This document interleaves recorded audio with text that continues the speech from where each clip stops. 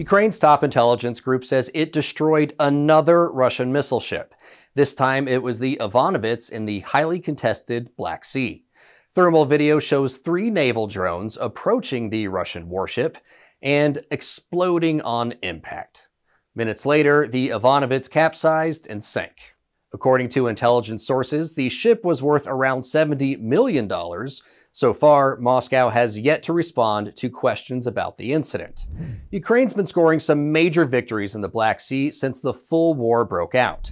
In 2022, using Neptune missiles, Ukraine took down the flagship of Russia's Black Sea Fleet, the Moskva. Then, around Christmas last year, Ukrainian forces sank the Russian landing ship Novocherkassk, which could carry 400 troops.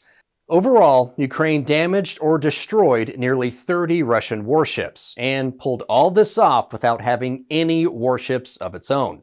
Ukraine's Secretary of Security, Alexei Danilov, says, of course, they would prefer a more favorable situation regarding the liberation of territories.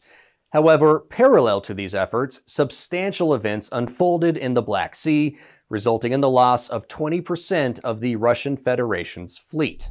While Ukraine's armed forces are managing to take on a much larger naval fleet, they're still on the hunt to build up their own. Just this month, the British Royal Navy announced plans to decommission two warships.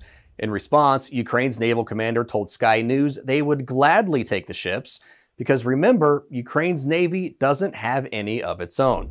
The sooner the armed forces have the necessary battle capabilities and certain capabilities to destroy the enemy infrastructure facilities, the sooner we will win. The UK has been a major ally to Ukraine, offering not just training but also advanced weaponry like long-range missiles and tanks.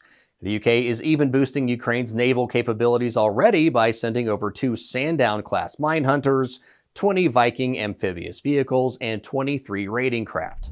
All this support comes as European Union leaders agreed to a three-year, $54 billion support package for Ukraine on Thursday.